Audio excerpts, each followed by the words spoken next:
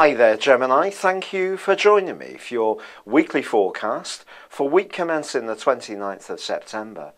An absolutely delicious set of planetary influences is going to make this a week which really can be absolutely gripped with excitement. But you need to buy into it. You can't be passive. But certainly from Tuesday, when Venus moves into the most glamorous and even amorous part of your horoscope for a 28 day stay, this is going to up your sex appeal and give you a much greater desire to engage with other people in any kind of social context. But there's also been for some while a sparkling alliance between Uranus and Jupiter. And this week from Thursday, these two planets start to link in with Mars in what's known as a grand fire trine. Now, it's not going to be absolutely exact, but it is close enough to have a real bearing on your situation. And this desire to engage with other people can definitely be promoted by the location of Mars, which is in your opposite sign. And you may find yourself having sudden invitations, amazing thoughts which give you a, a, a, sudden shot of inspiration which you want to share with other people. And it can lead to a really electric, cracking atmosphere which you will absolutely relish. So do go for it.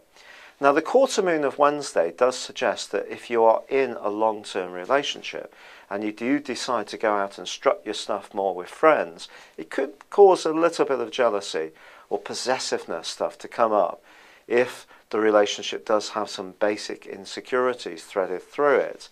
On the other hand, if you're footloose and fancy free, it would be of no surprise at all if you did start to really find yourself chatting to many more possible uh, people in terms of increasing uh, the prospects of actually getting into some kind of flirty situation or perhaps something more meaningful.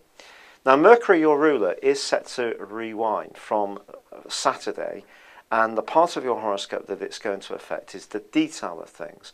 So, do make sure that you're very, very mindful that everything is dialed in. With all this buzzy energy around, it would be very easy to get distracted by the more everyday issues and not focus on what's absolutely essential.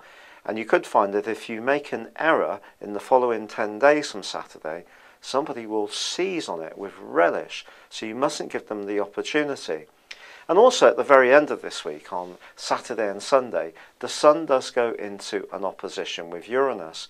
But this is quite interesting because in so doing, the Sun's forging a great link with Jupiter and also a super one with Mars.